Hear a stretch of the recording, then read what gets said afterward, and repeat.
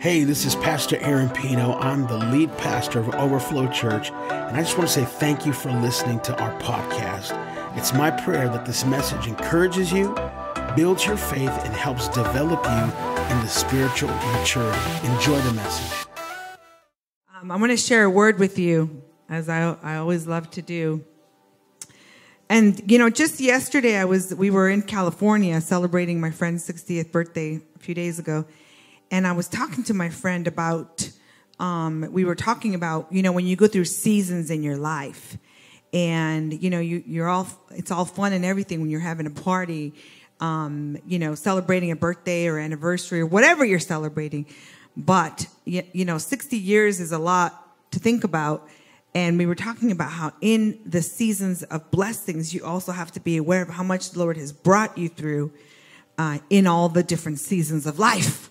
Amen. So being in a season of blessing is awesome, but you also have to think about all the great things that the Lord has done, even through the season of, of pain or loss or whatever. All that makes you who you are, right? Amen. And so, um, I was sharing with her, and I just had this in my spirit this morning. I love to talk about um, Naomi and Ruth and that whole, uh, you know, season of really transition that she was in, but also recovery as we are still in the era of divine recovery. Okay. So I really was praying into that this morning and I was like, Lord, there's so many uh, stories in your word where you talk about divine recovery and what that means for people and what that means for us in, in, in our days now. And in, in this book of, um, of Ruth that many of us are familiar with it. And I, I don't know if I've shared you know, any of that here today, but the Lord was giving me like a different uh, perspective into that book. Every time I read the book of Ruth, I get like a different perspective on the story. And so in, I'm not going to read it all because my husband's going to be the one that's preaching, but in the days, I believe that there's a word in this for somebody here, for me for sure. So if you don't receive it, I receive it. So in the days when the judges ruled Israel, this is in Ruth chapter one, this severe famine comes upon the land. Okay. So just right there. I mean, we know that in this time of famine, uh, Elimelech decides to move from Bethlehem in Judah to leave this place that he's known as his home, to leave this land that he's known as his land, to leave his tribe, to leave his people, to live, to leave this place that this is all he's ever known. Okay? And so he leaves this place out of necessity. He leaves this place because he has to. He leaves this place because he in this season of famine. Okay? So the word says that he leaves this place and takes his, all of his people, all of his stuff, his wife, his sons, out of Judah, out of Bethlehem, and they go into this country of Moab, okay, which is a place that's completely foreign to him. But he was in such a place of severe famine that he thought, even though I don't know, even though I don't know where I'm going to, even though I'm going into a place that's foreign to me, even though I'm going into a country where people don't really know what I know, aren't really, you know, in the customs that I'm in or eating the food that I eat, all of that has got to be better than this place of famine. Oh, come on. I know I'm talking to somebody here today. And so I'm going to stop right there for just a moment because as I was praying about that this morning and that word famine was like really being highlighted to me for some reason. And I started asking the Lord, talk to me about this. And you know what the Lord told me? What is, what does famine represent? And the first thing I thought was like, well, that means when I'm hungry, when I'm really, really, really hungry, that's famine. And I'm not trying to make light of it because I know that there's people that have suffered famine, people that have suffered food insecurity in their life. I know, I know I did. When I was a kid, we were very poor. And so I understand what food insecurity means. Okay. I understand what it means not to know when, when am I going to eat again or what am I going to eat again? You know what I'm saying? And so, or do I have to eat ramen again? Do I have to eat another quesadilla for dinner again? Like, oh, I, I know I'm maybe I'm just talking to myself. So I'm talking to the Lord this morning and I'm like, hunger, extreme hunger. And I said to the Lord, what does that mean? And, and I looked it up and it's like famine is hunger, extreme hunger that causes malnutrition, starvation, and in some cases, death. Okay? And so I'm like, okay, I hear you. And you know what? Like, a lot of in a lot of places in a lot of countries it's different decisions uh, it cause this thing of famine. And sometimes it's drought and it's sometimes it's the way we've treated or mistreated the land. And sometimes it's different economic policies or different situations that happen in different nations that cause famine Okay, so we, we don't know what causes famine in different places, but we know that when it comes to our very specific lives, there's a lot of uh, elements, there's a lot of things, there's a lot of decisions, there's a lot of situations that can cause different types of famine in our lives. But the key is not to get stuck there in that place of famine and not to get stuck in thinking, I'm so comfortable in my land. I'm so comfortable among my people. I'm so comfortable among my customs or among my traditions or among, you know, all the things and doing all the things that I think I'm supposed to do that I will not be so, you know, pulled out of this place of comfort into a place of, you know, newness, into this place of new things because I am hungry and I want more. And the Lord is challenging us this morning not to get stuck in a place of famine. So don't get stuck in this place of famine. God is going to give you the courage to move beyond this place of lack. God is going to give you the courage to move beyond this place of being hungry for something more, of being, of having this expectation that something is going to break, that somebody is going to come through for me. The Lord is coming through for you today. Amen. So the Lord is going to deliver you into a new place and into a new situation that is going to bring you to a place of perhaps uncomfortability, but He's going to bring you to a place of shift so that you will shift in your life out of famine, out of lack, and He's going to shift you into this place of promise. And, and, you know, my husband, you can come on up. And I know that in the story, as you follow along the story, uh, yeah, come forward because I'll just keep talking. We know that this man, he dies and that his wife, you know, they have the two sons and then eventually the two sons pass. And then, you know, Naomi is in this place of anger and bitterness. And then in this land that was supposed to represent this new thing for us, she recognizes that now it's time to go back to our promised land because now the Lord has shifted something in, in, in, in Judah and now they're back into a place where they're producing. Okay. So then she decides to go back from the place that she came from. And in the, in the Bible, it says that she made this decision. Okay. And she had to go back through the same road that she had come from to go back to her place of promise. Okay, so this is really, really important because it says that the Lord led them back through that road. The Lord led Naomi back through that road. And in this road, she came to this place where she was processing all the things that she had lost, that she had lost before, that she had lost during her season in Moab. But the Lord kept leading her and telling her, I'm going to take you to a place of promise. And so even though she was in a place of pain, it says that in, just in this First, Ruth 1 1, it says that she was in a, in a bitter place, that she was in a place of anguish. She was in this place of emotional, um, you know, where she was like questioning what, what's going on, this confusion. But she kept moving forward. And that is the key is that you don't just stop when you feel stuck. You don't just stop when you feel hungry. You don't just stop when you feel this loss, but that you keep seeking and asking the Lord, where are you leading me to? Because you know that the Lord is a God of abundance. He is not just a God of abundance, but a God of overabundance. So today I want to encourage you in this word. And I'm not going to keep going because I, I can. And my husband, you really need to come over here. But the Lord is going to take you to a place of surplus. He's going to take you to a place of abundance and overabundance. So if this word is for you, I want you to stand up and receive it. If you've been in any season of famine, whether, it, and that's not just hunger, it's not just money, it's not, it's, it's, it's vision, it's expectation.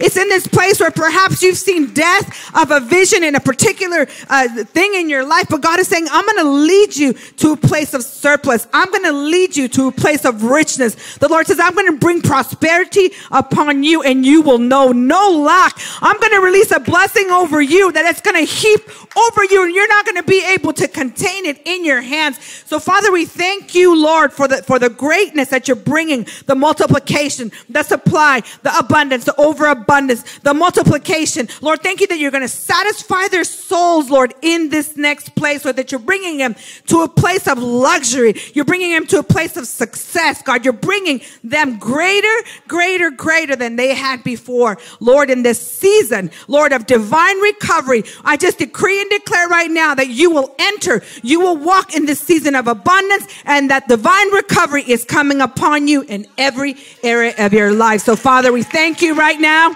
Come on, let's thank the Lord. Let's celebrate His goodness. Let's celebrate everything He's doing in us. Father, we thank you, Lord. We thank you, God. And we say, Yes, Lord. Heap it upon us. Heap it upon us. Pour it upon us so that we can pour. We can pour back not only into the kingdom, so that we can pour back into our brothers and sisters. Father, thank you that you're filling us. Uh, you're filling our place so full, God, that we're going to release our abundance into all those that are around us. Come on, don't you want that?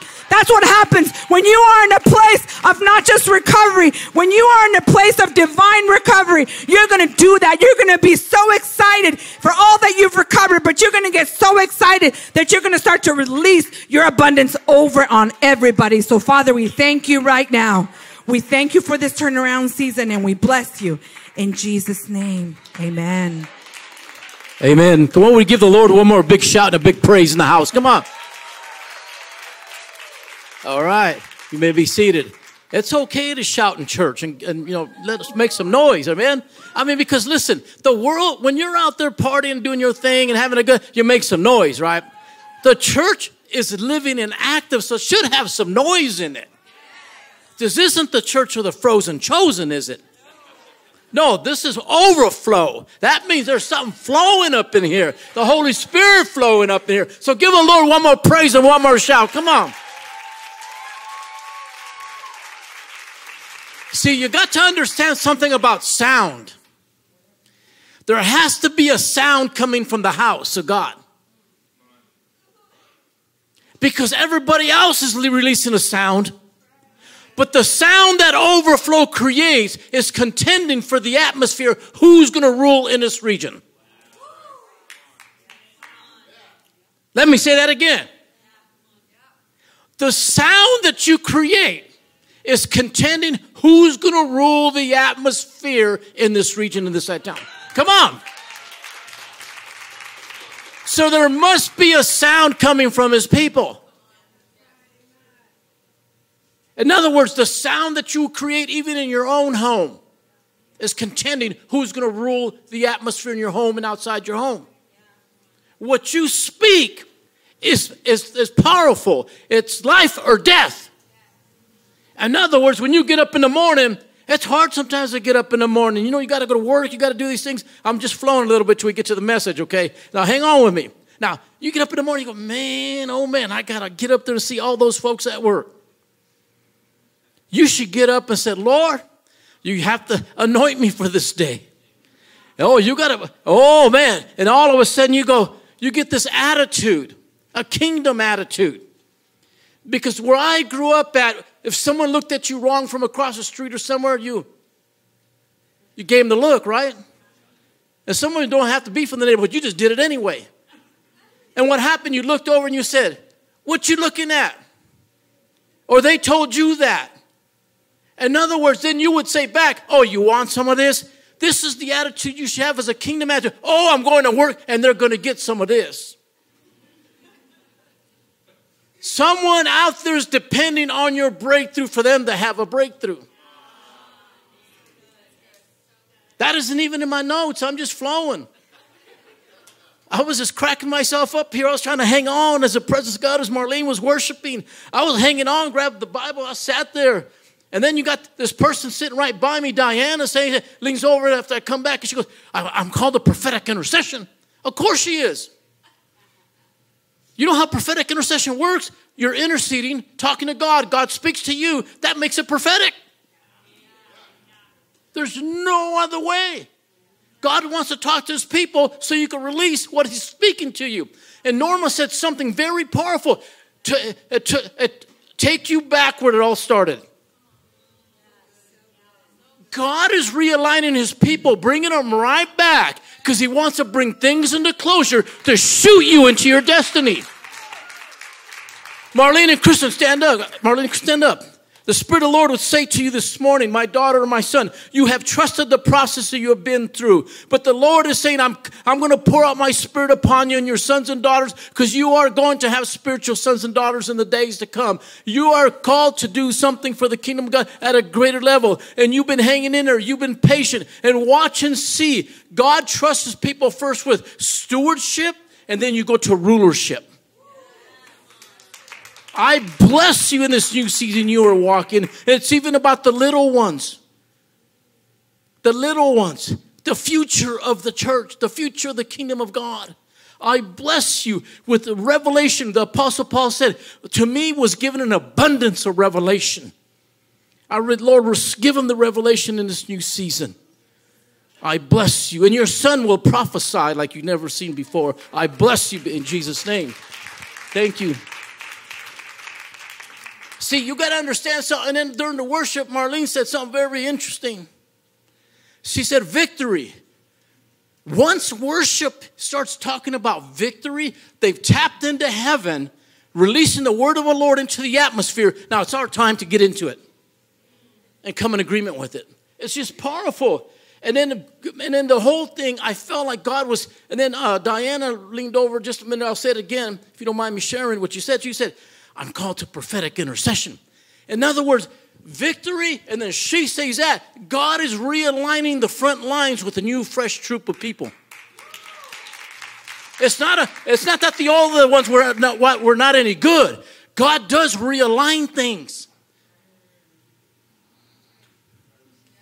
He's realigning the front lines in this hour. Listen to what's going on in Israel. They're under attack right? If they're at war, the church of Jesus is at war. We got to be interceding. See?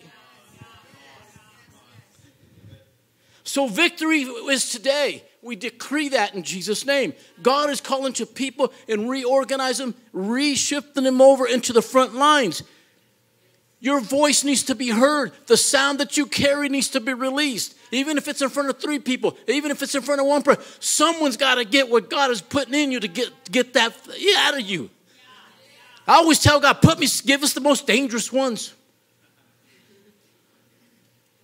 It's really interesting when you ask God that, all of a sudden He puts this crazy person, and they're just going off and all this stuff. And you're saying, What the happened? Well, you ask God to put the most dangerous one in front of you. And some of us ask, Well, God, I just take the light duty stuff. And God said, That's good because right now I'm going to trust you with them because I'm going to develop you to do the greater things for Him. See, he does things not our way. His ways are not our ways. Thoughts not our, our He just does these things. But see, let, let me share this with you. Put the first slide up there. Something is happening. Some of you heard me mention this before. It, it's about the name of Jesus.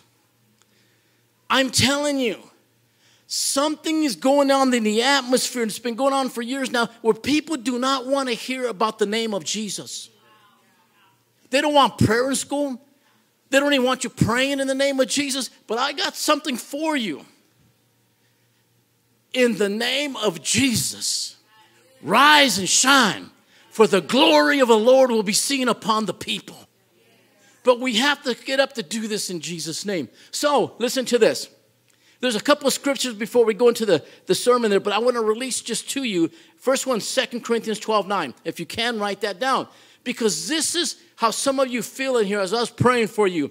You, you, said, you were feeling like you're weak and this and that. But God, the Apostle Paul said, My grace is sufficient for you, for my prayers is made perfect in weakness. What did the Apostle Paul mean by that? He said, In my weakness, his power is made perfect. When you find yourself weak, guess what happens? You'll find out things, more things about God in your weakness than you do when you're strong. The other scripture is this 2 Corinthians 4 7 through 9. This is how a lot of people feel in America and across the world. But we have this treasure in earthly vessels. You're a vessel, you have treasure in you. He says, The excellence of the power may God may, may not be just of us, but of God. And this is what the apostle Paul said there. He goes, We are hard pressed on every side. How many have felt lately you're hard pressed on every side? I mean, you're like, ugh, what, what happened? And then you're all by yourself and you feel hard pressed on every side. I mean, you're, you're just like, what's going on here? You're hard pressed on every side, yet not crushed. Hello! You probably felt like you were going to die, and all of a sudden you made it through the day and you got home. You weren't crushed. And the other part was were perplexed, but not despair. Persecuted. How many have felt persecuted lately?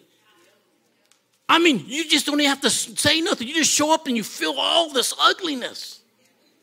But this is what the apostle Paul, but not forsaken, struck down, but not destroyed. Let me tell you what he said there. Not forsaken, listen, you're not forgotten. But when he said struck down, but not destroyed, hey, you got knocked down, but you did not get knocked out. That's what happens. Sometimes we take hits. Oh, Jeez, what happened? Oh, oh. And all of a sudden, it looks like that someone's gang, uh, they're jumping you with a, a gang is jumping you. It's all over you. Oh, you're all over. The, all this stuff is going on. You got your kids, your in laws, everybody acting all up, and you feel like you're being jumped by everybody. How many ever been there before? Husbands are not even raising their hand up. I mean, I felt like that, like I'm under pressure. This is the Apostle Paul. He said, But I was struck down, but not destroyed. And all of a sudden you get home, you say, Man, I'm glad I'm home. And then all of a sudden it starts all over again. Some of you can't wait to get to bed. You turn on the TV even. You tried everything. But guess what? You weren't you were knocked down, but you weren't knocked out. That was the Apostle Paul. And here's another one. This is really interesting what the Apostle Paul said. Hey, they were feeling it back then. And back then they didn't have iPhones or iPads. They didn't have the luxury that we had. They didn't. I mean, I'm, they didn't have nothing we had. They didn't even have you could order food. You had to go buy food. You had to cook your. They had. They didn't have an Uber. This is the Apostle Paul in Romans chapter 8, 39. Now listen carefully. He says like this. He goes, Can anything ever separate us from Christ's love?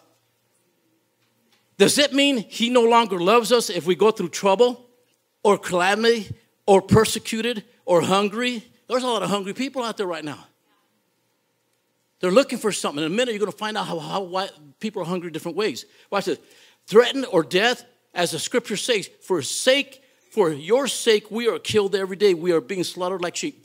Do you know that, that what he's saying there sometimes you go to work, you went out there, like it was, they're trying to slaughter you. But you know what? You will overcome it all because who can separate you from the love of Christ? All these things, you're in the process of things of you moving forward and moving your family forward. Now, watch what the rest of the scripture goes there. No, despite all the, do not despite all these things, overwhelming victory is ours through Christ who loved us. And Apostle Paul said, and I'm convinced that nothing can ever separate us from God's love. Amen. Ain't that great? Amen. Now, watch what he says nor death, nor life, nor angels, nor demons. Listen, I was ministering deliverance to this guy the other day, and he was we cast this demon at him. I go, I want you to, I want you to do me a favor now, I told the guy. If it comes back, don't feed it.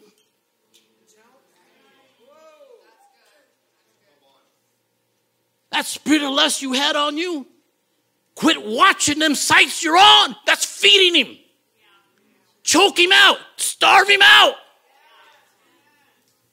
That's a whole other series.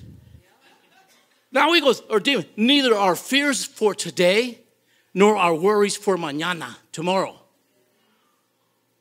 Not even the powers of hell can separate us from God's love.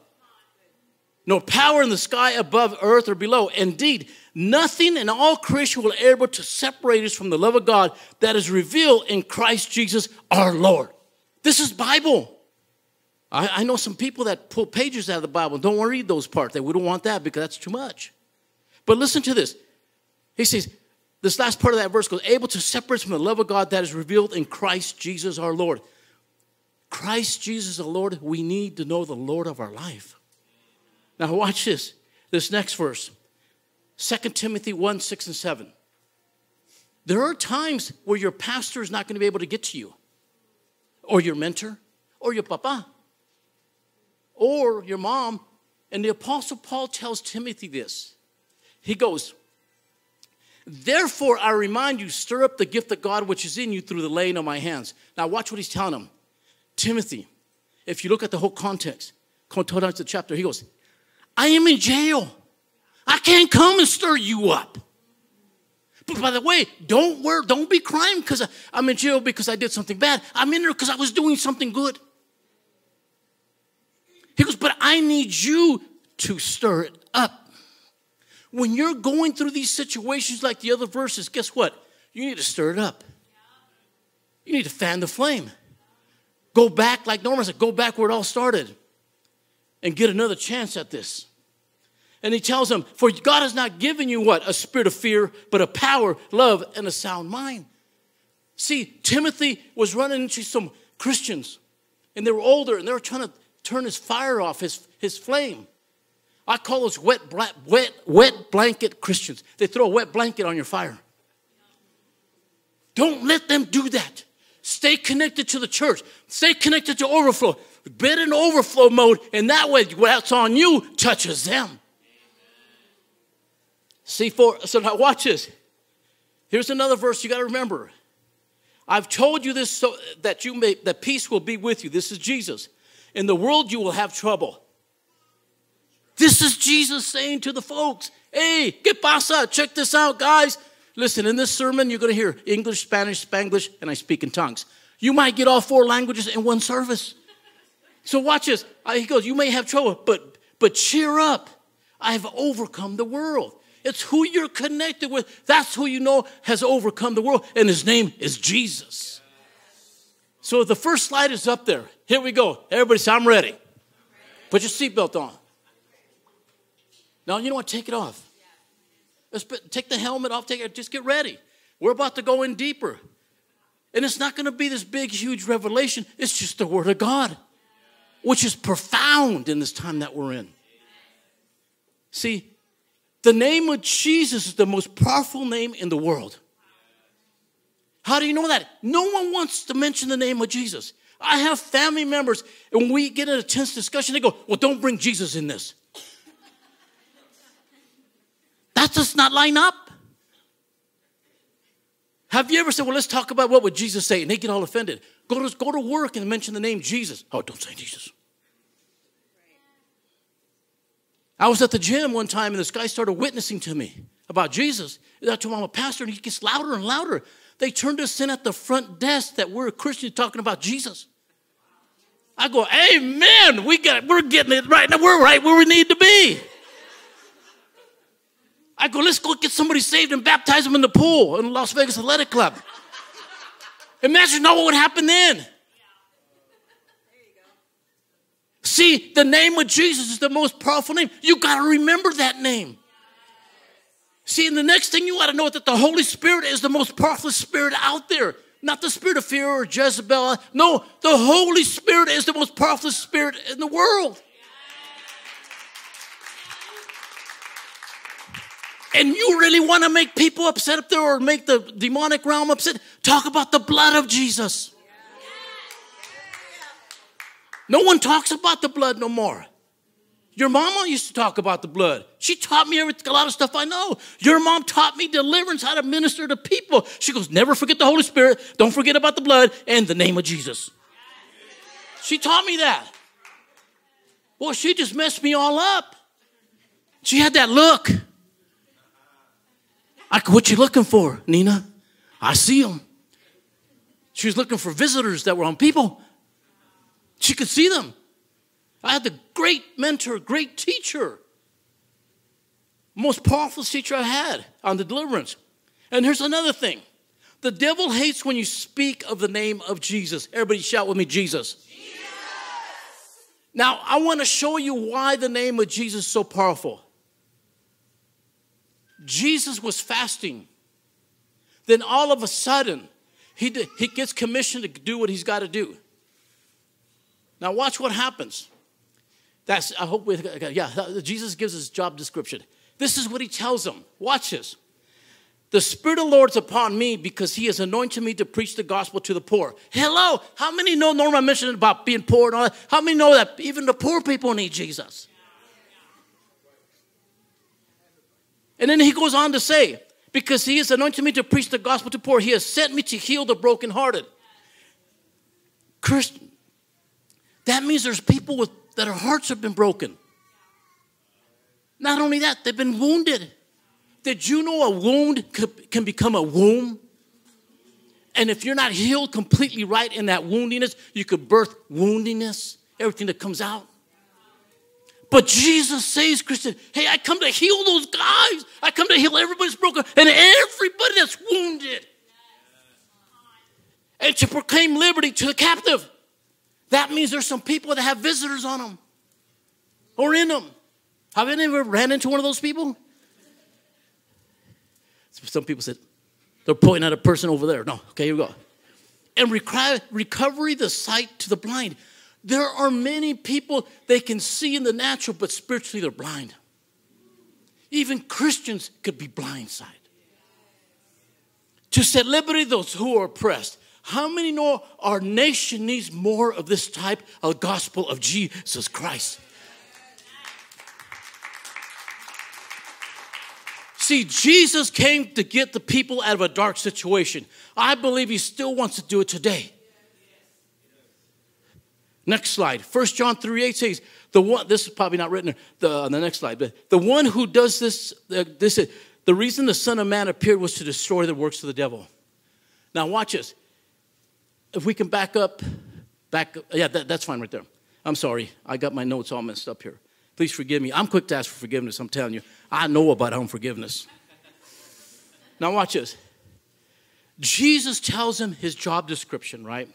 Then in this slide right here, you see behind me in Luke 4 20, 21, it says he rolled it up. It was a scroll. He rolled it up, right? And when he rolled it up, he handed it back to the attendant. Then he sat down, and all, all the eyes in the synagogue looked him attentively. And then he began to speak to them. The scripture that you have just heard has been fulfilled this very day. Look what he said. This is what he's saying. What I just said to you is about to start to happen. In other words, he spoke what he wanted, what he wanted to see. We as people of God need to start speaking what we want to see in Christ Jesus. Not the other way around. We might say something negative and this is keep going, it keeps getting worse and worse, but you need to speak the opposite and say, No, my son and my daughter are coming home to the church in Jesus' name. I'm going to have a breakthrough in Jesus' name. Uh, by this time next month, I'm having a promotion at work. You have to speak what you want to see. The other voices are speaking louder than God's people. See, Jesus gets busy right away. He just didn't speak it, he demonstrated it. Next slide. Jesus goes and casts out a demon that was sitting in the church. Here's the verse. And when they were astonished at his teaching, he, this is what he did. Now, watch this. This is really interesting. I got to slow down, Lord. Help me, Holy Spirit. Slow me down, Lord, a little bit. Because I keep wanting to jump way ahead because someone's going to have a breakthrough here. I, I love breakthroughs. Watch what happens here. He was teaching for he, his word with authority. Now, in the synagogue, you could put the word there, synagogue right there, put church. There was a man who had a spirit of an unclean demon. And he cried out with a loud voice, saying, Let us alone. You know what that means, let us alone? That means there was more than one.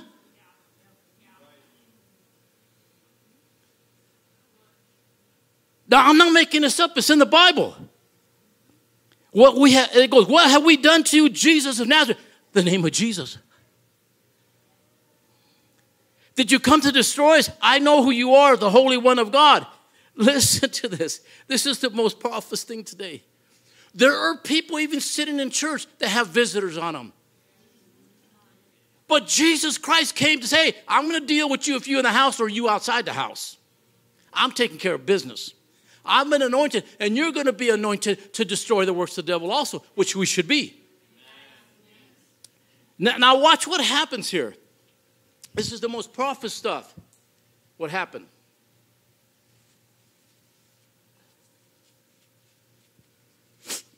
After Jesus said that, right? This is what happened. He, they, they got mad inside the, the church, inside the synagogue. And what they did to him, they tried to get him out of the church and took him alongside the mountain and tried to throw him off a cliff. Listen, there are people out there that are functioning by something totally different that is not, that is not of God that will try to hurt you. And it's okay for you to go, I'm gonna do like Jesus did. I'm stepping out of the way. You did what you had to do. It's okay to sneak out out of a situation. Just don't stand there. Jesus did it. So all of a sudden he sneaks out of the situation and he goes over to Peter's mother-in-law's house. Next slide there. He stood over her and he rebuked the fever and he left her. And immediately she arose and served them. Jesus was demonstrating what he just spoke in that same chapter. And watch what happens. Men of God, take care of your mother in laws. Look what happened. Peter's mother, immediately she got up, arose, and served them. You take care of the mother in law, she's going to serve you. Next slide, please. And then all of a sudden, Jesus goes further down in this chapter.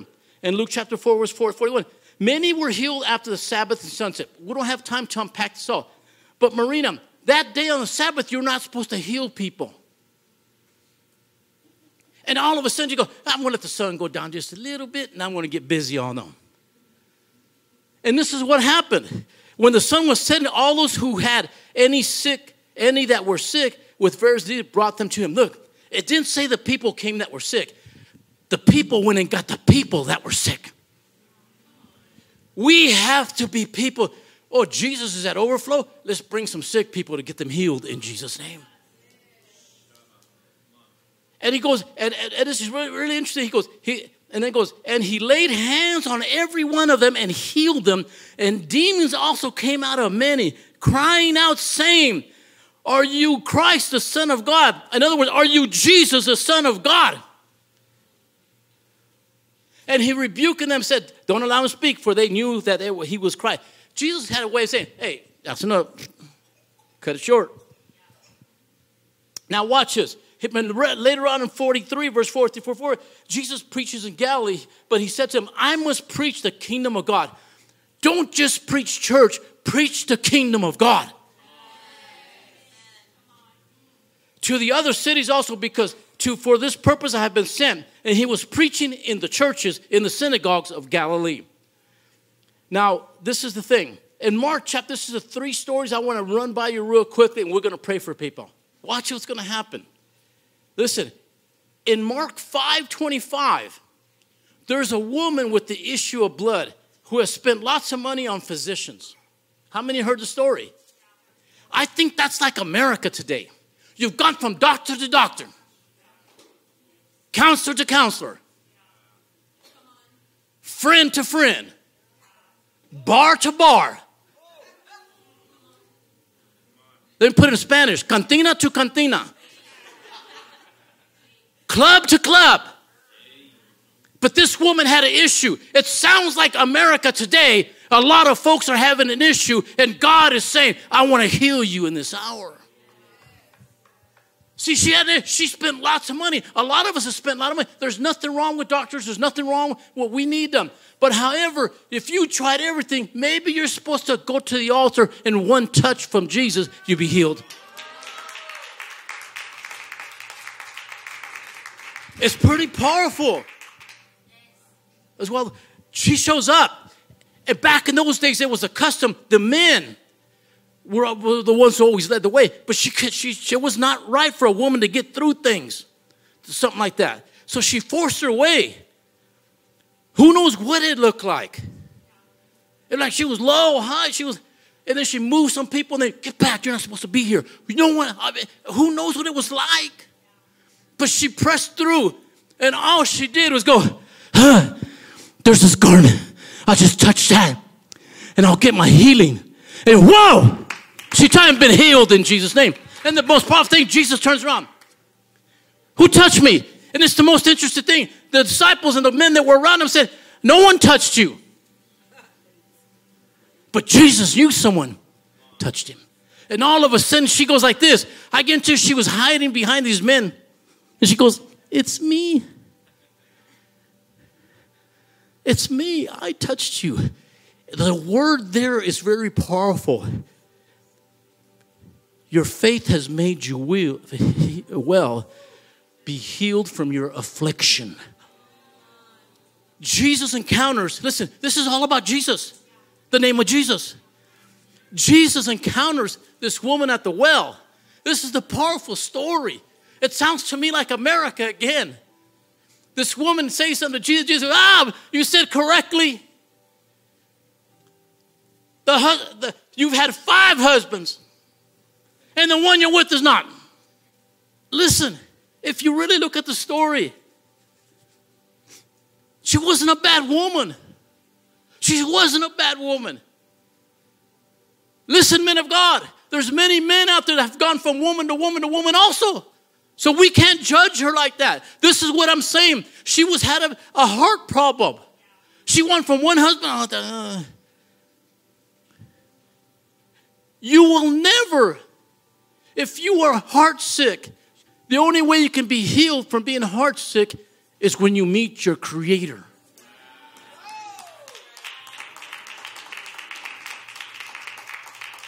Take me back where it all started, Lord. See, it sounds to me like in America, people go from this place to this place, from this place to this place. And next thing you know, they're not even walking forward, they're walking sideways, getting really off alignment with God. And next thing they go to this way, this way. It's just like Samson. I don't know why I keep talking about Samson, but Samson, he went to the club. He went to Delilah's club. He kept going back and back and back and back like he was trying to find something. We cannot find it out there. The only place to find it is Christ Jesus.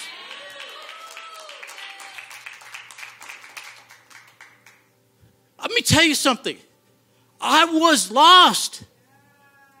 I used to come home. I used to be on meth. I used to be on alcoholic. I came home. I tried it all out there, all these crazy things. And I was married to Norma. Norma prayed me back in. I used to come home and sit at the table. And my heart was sick well. It was sick. And I used to sit at the table, and all of a sudden it would come from my mouth, I want to go home. And my kids used to look at me, Dad, you are home. I had to pull myself so far away from God. I was trying to find my way back. And all it was was for me to give my heart back to Jesus, back to my Creator. You can ask Norma. I say it all the time. I drive down the road. She's in the car with me. I want to go home. Wow. to this day, I think, whoa, Why did I go so off track? I was looking for love in all the wrong places. Well, I thought I wasn't running around with other women. You know I was running? The bottle of beer was my affair. The drugs. I was going here, here, buy drugs there, buy, just like this woman. Think about it, going from one man to another man to the. I was like, well, if I can't find the drug over here, I'll go to this one over here. If I can't do it, I'll just go to the 7 Eleven and hang out. Someone will come.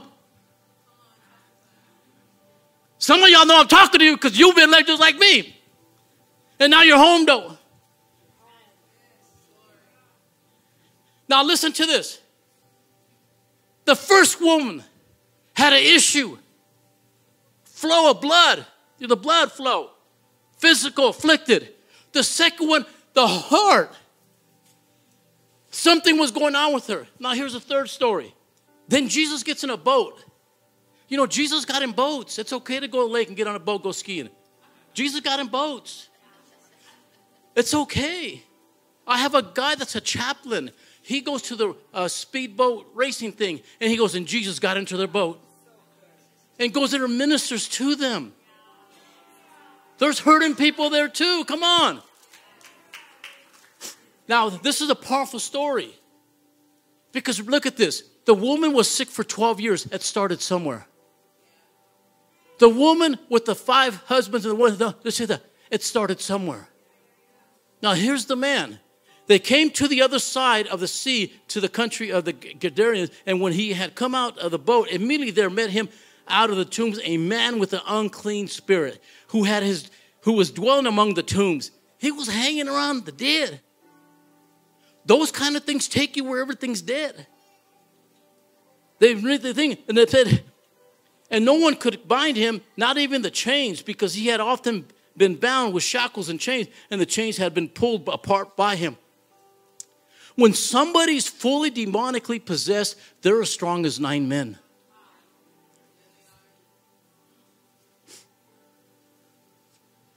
Now, watch what happens here. And the chains had been pulled apart by him, and the shackles broken in pieces. Neither, neither could anyone tame him. They were trying to tame him. And uh, always at night, he was in the mountains and in the tombs, crying out and cutting himself with stones. And listen to this. When Jesus saw him from afar, he ran and worshiped him, and he cried out in a loud voice and said this. Now, let me say this to you. One translation says that this guy, this man in the tombs that was had this demon on him and all this, he will howl like a wolf. Oh! But all of a sudden, this boat shows up and he turns. Instead of howling like a wolf, he said, Oh, I'm going over here. Something had a click in him. Even the demons knew who Jesus was. Even the demons know what the name of Jesus. And he said, cried out in a voice, said, What have do we do with you? Jesus, son, Jesus again.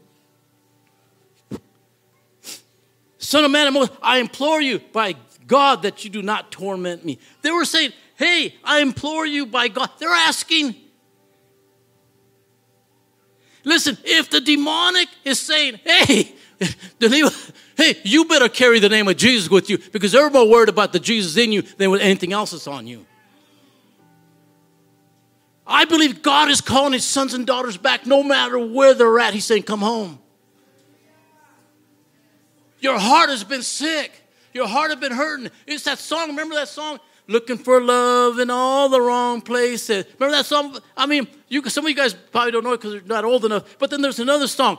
I got jokers on my left, clowns on my right, but I'm stuck in the middle with you.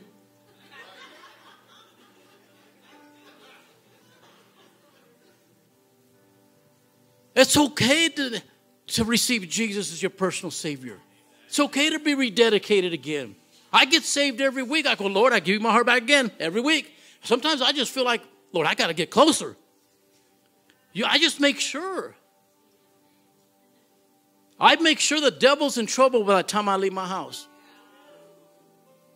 He knows I'm coming. And later on in that verse, this goes like this Then they came to Jesus. Here's the name Jesus again. And they saw the one who had been demon possessed and had a legion, sitting and clothed in what? His right mind. And it says, all of a sudden, they said, and they were afraid. How do you be afraid of someone that's in the right mind? It's because it was profound. They thought he was incurable. But Jesus shows up on the scene. I remember being so lost. And I, you know, I'm married to Norma. She's praying for me. I came home and she goes, honey, take off your, let me sit down, let me feed you, take off your shoes. That's no, I take care of myself. I was always up to something. She pushed me and I fell back in my chair on the sofa there. She goes, let me take off your shoes. See, love exposes things. She pushed me back and I fell, I was so drunk. And she grabbed my shoe and she went like this and all this money flew out everywhere. I was hiding even money and I got exposed. I said, I can't hide nothing from her now. Jesus is exposing me. And I used to come home ready to argue because she was always a person to argue when I came in the door. And now she's loving me, and I go, she's up to something. She wants something. Told my mind was totally messed up from all the meth.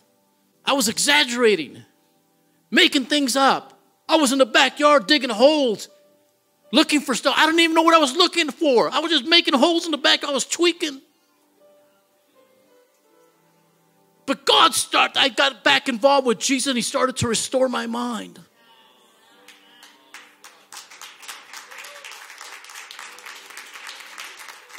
I can relate to these three stories. I had an issue. And Norma one time found me OD'd in the bathroom, blood coming out of me from nose, from everywhere. Issue of blood. I was putting all that stuff in my blood system. The other one, I was looking for drugs everywhere. Just, I, I, I have to say this again. That the woman at the well, she thought she could find it in this man. said, It's not working. Let me find another one that has more money. Oh, forget that. Well, this one will be this. Uh, oh, she goes, Well, maybe I won't marry them. Maybe I just live with them. But Jesus shows up and doesn't even judge her. He loves her where she's at. And she became one of the most powerful prophetic apostolic evangelist women in the New Testament. If her name is Potina, not Pastor Tina, Potina. And this is what she became. She won her whole family. She won the whole town. And then she went to another city, uh, to another town, and all these people started getting saved. And then they tried to persecute her. And then they tried to uh, kill her. They put in a hot boiling pot of water to burn her alive, boil her alive. And they couldn't do it. She come out of that water like, what? What you guys up to? It's just like a, it's just like a jacuzzi. There's nothing wrong with it. I think that's the first time they thought about making a jacuzzi. It was back in the Bible. Let me tell you what happened last week. I spoke at the Las Vegas Dream Center. And there was this man, Hispanic guy. I looked in his eyes and I could see, he said, I could see he was trying to tell me through his eyes, I want to come home. Even though he was saved, he still wanted to come home. And I kept pointing at him. And I, and I come back over here, then over there. And then I came down off the platform. I stood on a chair and went like this. But then God would bring me right back to him. Because I could relate, I could discern that he's been places, I've been places where he's been in his past and he's trying to find He gave his heart that Jesus came home, but he's trying to get the steps to, to walk it all out. Next thing you know, now it's Thursday. He shows up at the prophetic intercession class, Marketplace Mastery. Hey, they made a call. Who wants to pray for the Latin nations? He jumps out. It's me. It's me. He had shorts on to here, ex gang member these big old glasses. I mean, wouldn't even look like someone would want to pray. That kind of guy would want to pray like that. And Norma, he starts to say something, and Norma goes, Let me help you with this. And Norma starts to help him. And when he went to sat down, he said one thing, couple things to me. The first thing he said, Now I know where I belong in ministry.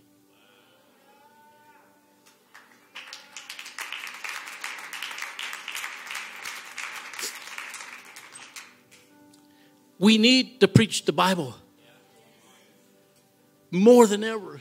We need to mention the name Jesus more than ever. See, I can get you saved, but it's Him who saves you. He's the one you need to get home. That word I said, your heart will always be sick until you meet your Creator. I heard it from Pastor Joel. And that's what was going on in these stories. The woman was sick, she just needed that touch to be healed. The other one, wandering, then this man at the, in the tombs. I feel like sometimes I was that man at the tombs. I was hanging around things I shouldn't have been hanging around with, filling my, my blood cells with all this drugs and all that. But I thank God for a praying wife and the mercy and the grace of Jesus Christ.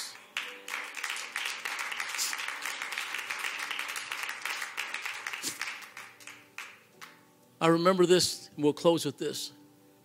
I went to a meeting after you know I'm saved. I got, they asked me to come and speak at this place. The place is a casino. It was in a conference room. And I looked at all those 2,000 people in there. And I said, oh boy, they're going to get some of this. I'm going to mention Jesus.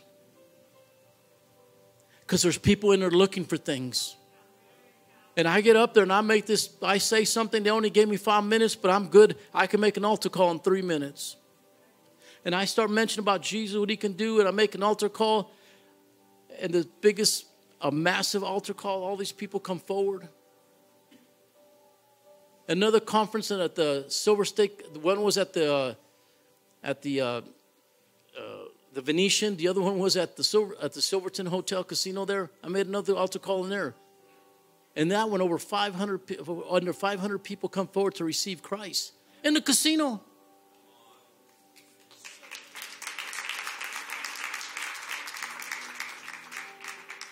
I'm telling you, it's time that the body of Christ says, you know what?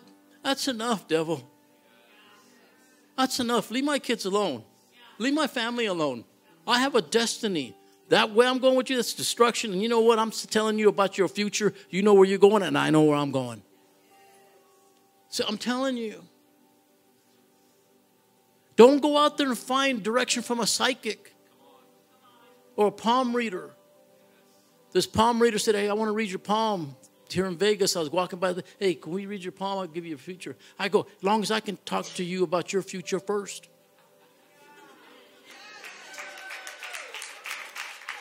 And she said, Go ahead. I go, One day you're going to stand before your maker. And she, her eyes got huge. And then you're going to stand there. They're going to let you, he's going to ask you, Why should I let you in? She got panicked, started crying. She goes, No one has ever said that. She was like the woman at the well. No one has ever told me that. You look, read the story. She starts crying, backing up. I go, don't run away. Jesus loves you. And the more, oh, but you know what? I didn't get her saved, but I planted the seed.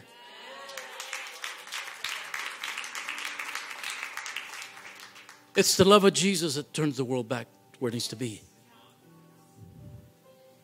And I'll close with this. I'm in Israel. I jump into a taxi. I'm in Jerusalem.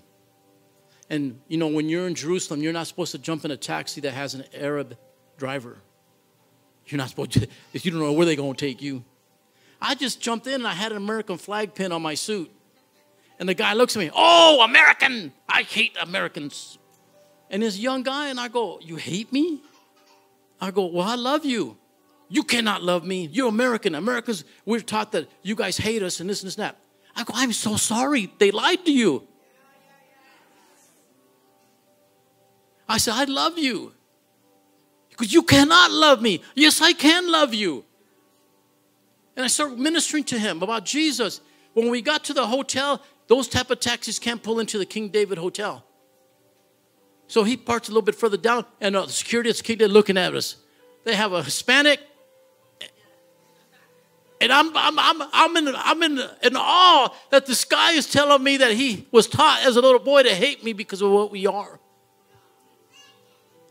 And he goes, and then, all of a sudden he starts to cry a little bit. And he goes, wait a minute, because oh, English, bro, I got, I got to translate it.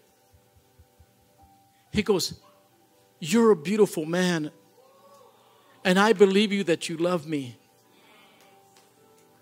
All it is, what? Sharing the love of Jesus Christ.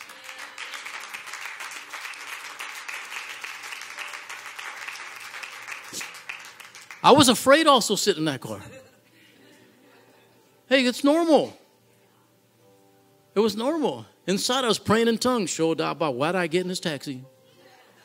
But God knew I had an assignment with this young man. He will never forget that. I gave him my phone number. There's people that need Jesus just like all of us in here. So, with your eyes closed,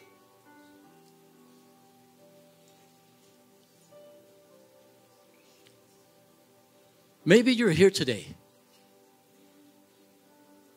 You know what? Maybe God is saying, hey, uh,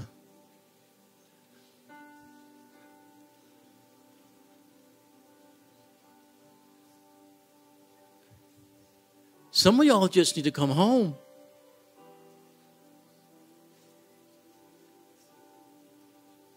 You tried everything.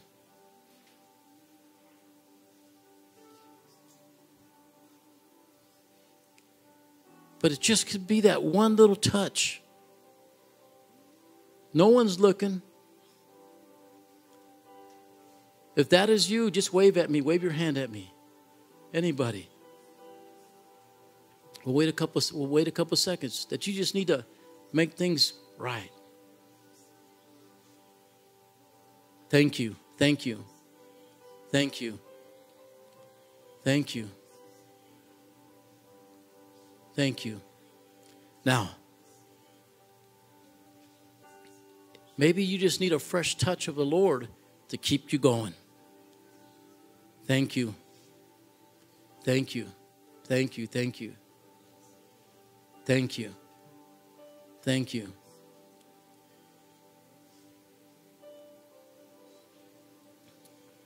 Now, I'm going to ask you to do a bold boldness. Can everybody stand up? Something bold.